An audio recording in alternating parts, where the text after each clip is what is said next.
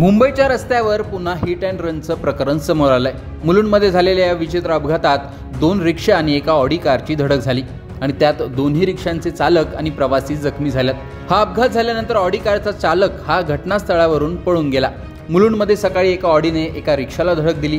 त्यानंतर ती रिक्षा दुसऱ्या रिक्षावर जाऊन आदळली असा हा विचित्र अपघात झाला. कार चालक पळून गेल्यानंतर पोलिसांनी त्याला शोधून काढलं असता तो दारू पिऊन गाडी चालवत असल्याचं समोर आलंय. यामध्ये मुलुंड पोल- पोलीस स्टेशनला भारतीय न्यायसंहिता त्याचप्रमाणे मोटर व्हेकल ऍक्ट याच्यानुसार गुन्हा दाखल केलेला आहे.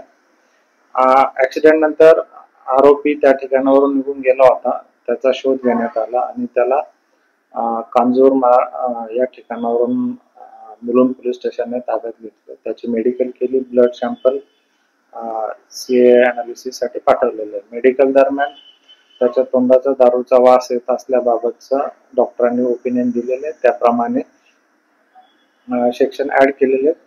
आरोपी अटक करण्यात आलेला. आहे पुढील तपास मुलुंड पोलीस स्टेशन करत आहे.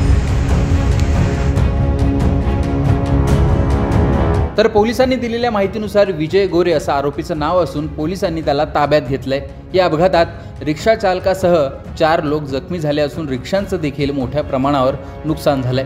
रस्त्यावर होणाऱ्या घटनांचं हल्ली प्रमाण वाढलेलं असून हिट अँड रनचे प्रकार देखील समोर आले नवीन कायद्यानुसार हिट अँड रन प्रकरणात कडक शिक्षेची तरतूद करण्यात आली आहे. आता हे प्रमाण त्यामुळे तरी कमी होतं का ते पाहणं महत्त्वाचं असणार आहे. पण एकूणच रस्त्यावर अपघाताचे वाढते प्रकरण आणि त्यातही हिट अँड रनचे प्रकार याविषयी तुमचं मत कमेंट बॉक्समध्ये सांगा.